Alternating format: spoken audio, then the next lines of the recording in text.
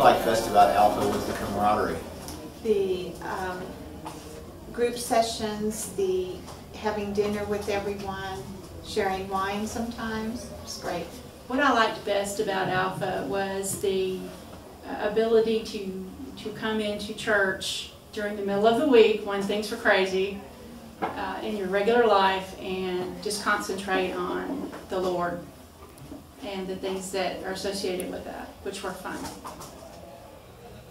Um, what I like best about Alpha is that it gives you the background of Christianity without um, any pressure. It's um, basic knowledge and it's very open to everyone and very accepting to everyone. And I think um, that was what I was looking for when I signed up for the class. And it, but it's also enlightening. It's not.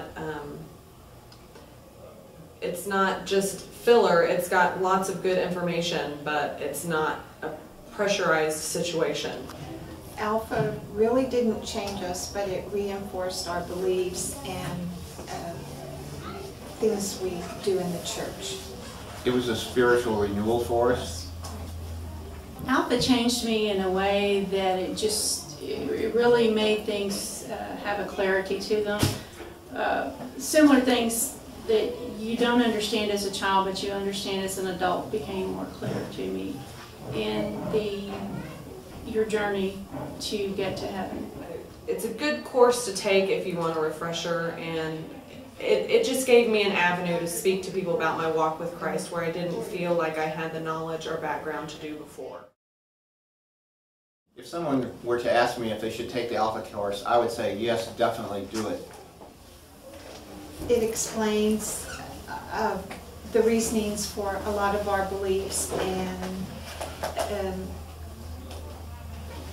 it's a different way of thinking and looking at uh, things through the church. For someone who's considering taking the Alpha class, I would say don't hesitate, just take it. Whatever you're thinking is would be in your way, like work or not having time, just take it. I would say that the Alpha course is for anyone. Um, if you are a developed Christian or someone who just needs some, who is interested in getting background information, I would say Alpha is for anyone. It's um, because it's the basis of all Christianity. It doesn't matter which um, faith you're in.